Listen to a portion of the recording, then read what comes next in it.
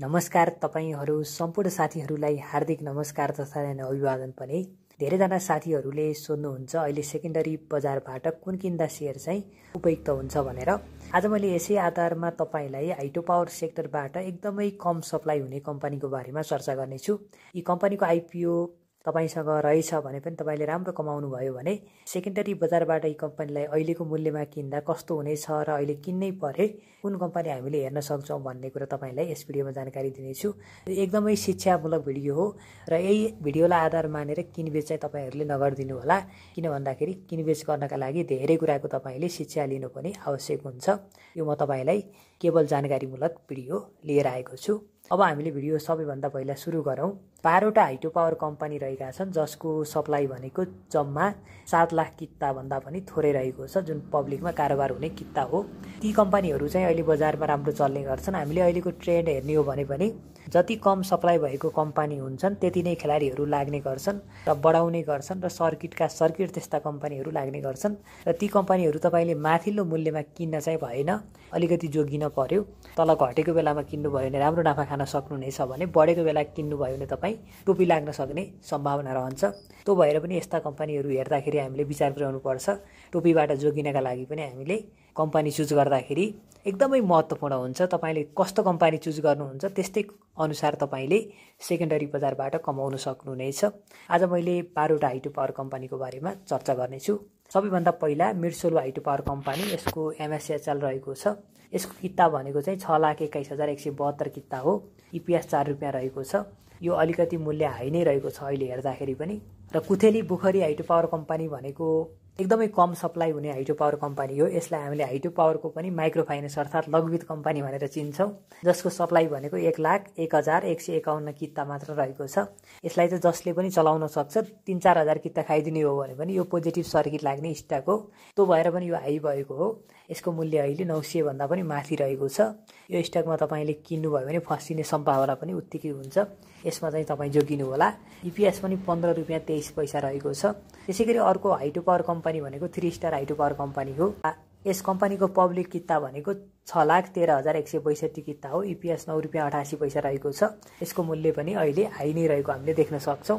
त्यसै गरी अर्को कम्पनी रहेको छ रावा इनर्जी कम्पनी। छ लाख त्रिचालिस हजार छ सय सडसठी किता रहेको छ। इपिएस नौ रुपियाँ दुई पैसा रहेको छ। चार सय सत्ताइस रुपियाँ जस्तो अहिले मूल्य रहन्छ। त्यो हेर्दाखेरि पनि यस कम्पनी पनि अलिकति हाई नै पुगेको हामीले देख्न सक्छौँ। त्यसै गरी अर्को कम्पनी रहेको छ upper Syange hydro power company यो कम्पनी अहिले तिन सय नब्बे हाराहारीमा क्लोज भएको छ र यसको सप्लाई भनेको पाँच लाख उन्चालिस हजार पाँच सय किता रहेको छ। इपिएस भनेको पाँच रुपियाँ पैँचालिस पैसा रहेको छ। यस कम्पनीमा हामीले हेर्नुपर्ने कुरा के रहेछ भन्दाखेरि यो कम्पनी एकदमै महत्त्वपूर्ण कम्पनी पनि हो। तिन सय नब्बे भनेको चाहिँ। तपाईँले अब किनेर चार सयभन्दा माथि त तपाईँले सजिलोसँग किनेर बेच्न सक्नुहुनेछ दस रुपियाँ बिस रुपियाँ प्रति किता खानका लागि तपाईँले मिनिमम हजार किता उठाउनु पर्यो। र तपाईँले हजार किता उठाउनु भयो भने प्रति किता पचास खानुभयो भने नि पचास हजार आयो यसरी नै हामीले ट्रेडिङ गर्न सक्छौँ यसमा। र युएसएचएल भनेको यस्तो स्टक हो अहिले कम सप्लाई मध्ये चाहिँ एकदमै लोमा रहेको स्टक हो भन्दा पनि बुझिन्छ। तिनवटा स्टक मात्र लो रहेका छन्। त्यो मध्ये युएसएचएल पनि एउटा हो। त्यसै गरी अर्को इएचएल पनि अर्को एउटा हो। इएचएल पनि तिन सय सतासी हाराहारी मूल्यमा रहेको र इएचपिएल भन्ने अर्को इस्टर्न हाइटो पावर पनि अहिले एकदमै लोमा रहेको छ तिन सय पैँसठीतिर हामीले किन्न पाइन्छ। एएचएल इएचपिएल त्यसै गरी तपाईँले हेर्नुपर्ने युएसएचएल यी तिनवटा हाइटो पावर तपाईँले अबको करेक्सन अर्थात् बुधबार किन्नुभयो भने तपाईँले मेरो विचारमा कम्तीमा पनि दस पर्सेन्ट तपाईँले राम्रोसँग नाफा खान सक्नुहुनेछ ट्रेडिङ गर्नलाई। यो ट्रेडिङको लागि मात्रै कम्पनी हो नि तपाईँले यसलाई इन्भेस्टमेन्ट गर्नका लागि भने उपयुक्त देख्दिनँ म चाहिँ र पनि तपाईँले अझै अध्ययन गर्न सक्नुहुनेछ। अर्को एउटा कम्पनी छ सुपरमाई हाइटो पावर कम्पनी। यसको जम्मा चार लाख पन्ध्र हजार किता छ। भने यसको इपिएस तेइस रुपियाँ रहेको छ। यो अलिकति मूल्य पनि हाई छ र कम्पनी पनि फन्डामेन्टल रूपमा बलियो कम्पनी हो। सप्लाई साह्रै कम हो यसको।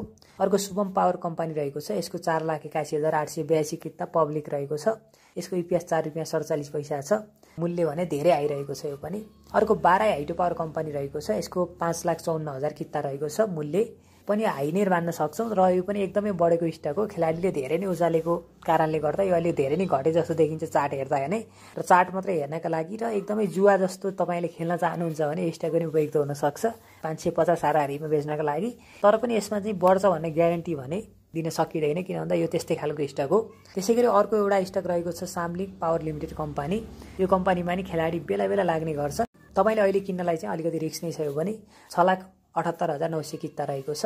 त्यसै गरी अर्को कम्पनी रहेको छ एमकेजेसी। छ लाख चौरासी हजार सात सय छ्यालिस किता रहेको छ। यो पनि अलिकति हाइमै रहेको छ। यी कम्पनीमध्ये तपाईँले हाई रिक्स हाई गेन गर्न चाहनुहुन्छ भने तपाईँले हेर्नुपर्ने कम्पनी भनेको इस्टर्न हाइड्रो पावर कम्पनी। त्यसै गरी USHL upper Syange hydro power company. Asian hydro power company यी तिनवटा कम्पनीमध्ये मैले चाहिँ इस्टर्न हाइड्रो पावर कम्पनी हेर्ने गर्छु। तिन सय पैँसठी भनेको यो राम्रै लाग्यो मलाई चाहिँ। तपाईँले पनि यी मध्येबाट जुनसुकै कम्पनीहरू पनि हाम्रो राम्रोसँग अध्ययन गरेर किन्न सक्नुहुनेछ। र अलिकति हाईमा पुगेका कम्पनीहरूबाट भने तपाईँ जोगिनु होला किन भन्दाखेरि त्यस्ता कम्पनीहरूमा हामीले टोपी लगाइने हुन्छ। सेयर किन्दाखेरि अलिकति अध्ययन चाहिँ बढी गर्नु होला जुवा जसरी पनि नहाल्नु होला। तपाईँसँग जति लगानी गर्ने पैसा छ त्यसको फिफ्टी पर्सेन्ट त सेयरमा हाल्नु होला फिफ्टी पर्सेन्ट रिजर्भमा राख्नु होला।